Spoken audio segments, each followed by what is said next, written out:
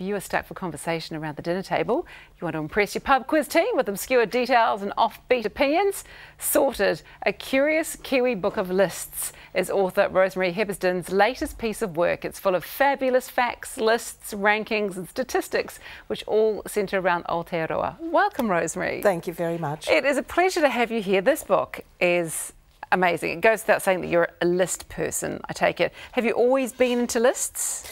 I do have kind of a librarian's mentality, it must be said. But the thing is about lists is that they're just irresistible because what better way can there be to contain a whole lot of information, to pin it down and to make it memorable and accessible forevermore? And lists are very on trend at the moment too. Like are just about every single story you read online, it'll be a list. Yes. The top five of this thing, this sort of thing. They're mm -hmm. very, yeah, it's very, you're right, they're very memorable. Yes, and they also are a cause of great arguments around the table as well. because the minute you produce a list of anything, everybody always argues with it. Yes. And says that they would have written it completely differently and why hadn't, you know, I got asked why didn't I include this or how could you say that? And so it's, it's um, quite con controversial. Mm. And it's a book you keep wanting to pick up because I'm not a huge reader, but I like lists. so this is perfect for me. Very digestible. Yes. And, yes. and somebody, there was a um, New York journalist who said the reason we like to process information in list form is because it's so much easier to sip on a green smoothie than to eat an entire bunch of kale. so, you know what? That is so absolutely 100% true. Uh, so you've written other books though about New Zealand, haven't, haven't you? Yes, you, I have. You've always been fascinated about the Kiwi way of life? I have. I have been because I came here when I was 13. Um, I was born in Canada, had four years at school in Libya, in North Africa, wow. lived in the United States where I used to pledge my allegiance to the flag of the United States every morning, lived in Australia and then came here with my New Zealand father and my Canadian mother.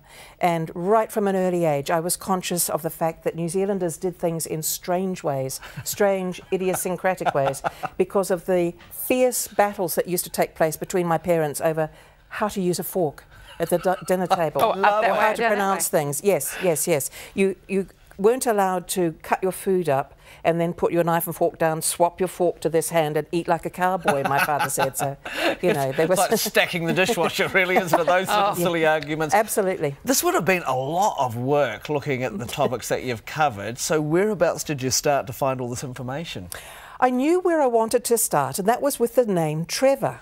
All right. Because Fred Dagg had six sons, or approximately six sons, mm. all of them named Trevor and they are all good boys, especially Trevor. So I thought I should start looking into New Zealanders who were called Trevor. And the whole deal was sealed for me when I discovered that Carmen, who was the very flamboyant drag queen in uh, Wellington days in the sort of um, 60s and 70s and so on, she, that was Trevor Rupe, in fact. See, wow. Who became Carmen. No, neither yeah. did I. Okay, so you got Trevor Mallard, that Trevor. Who else have you got? I can't think of any other Trevors. See, this well, would have been hard to put together. There is one Trevor you mustn't bring up, and that's the one who did the underarm bowling. Oh, oh yes. That's one that the Aussies can keep. Oh, yes. Yeah, was it McKeown? Was it McKeown? Oh, I love it. How oh, did you decide, work. when you're writing this book, how do you really figure out when you've done enough lists? Oh, Trevor Chappell. That was it too. Trevor Chappell, yeah. thank you. you yeah. Um, the curious thing about this book is that I had nine categories of lists and I knew that I'd have to write some long ones, some medium length ones, and some short ones for the sake of the designers. So um, I sort of kept going into some things in depth and then other things just glossed over the surface. What was your favourite? Have you got any favourites? I know that's like asking I what do, your favourite child I do, is. I do. It's like having a million babies that I'm fond of. Yeah. But, uh, um, the one that I found actually really quite interesting was the one I forget the actual title of it. 15 concepts that need to be translated for a 21st century dictionary of te reo. Because the Maori Language Commission is responsible for coming up with new words to cover concepts that weren't around, you know, in the early days of mansplaining, twerking, twerking, the f bomb, yes, resting bitch face, oh, I suffered terribly, yeah, side boob. Oh, yeah. Well, Mike suffers from that too. Yes.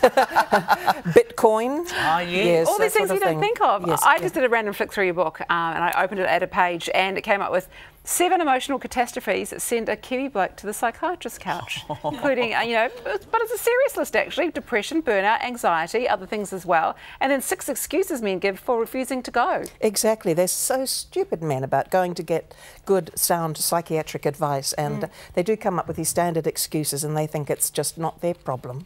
So I guess this book, uh, for those that have already picked it up, has achieved what you wanted. I guess a conversation around a dinner table, some arguments, just some food for thought thought. Is that the whole purpose of the book? No. Okay. no, it was um, to satisfy my own intellectual curiosity. Okay, good. And well, to find worked. a way of containing. I mean, New Zealand is such a small country, but mm. it's so incredibly rich in wonderful stories, and we do such bizarre things in this country. And so this was a way of pinning them down and reminding myself of many of those stories, but without going into you know great detail it's just a reminder. It's almost like a reference book to lots of stories of social history in New Zealand as and much I as anything that. else. That's so awesome. many good yeah, lists in fun. here. It's fun. It really is. Thank you, Rosemary, for stopping by. Uh, Rosemary's book, Sorted, A Curious Kiwi Book of Lists, is available now from all good bookshops. It's one of those books you just keep picking up again because yeah. you just want to find out what the next list Six says. Kiwi women who have broken through the glass ceiling. Oh, there you go, Mel. Are you on the list?